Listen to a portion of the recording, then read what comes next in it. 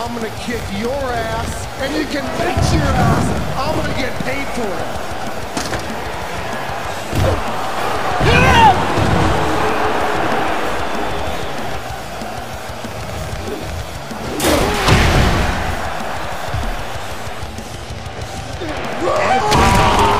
has a Brock Lesnar.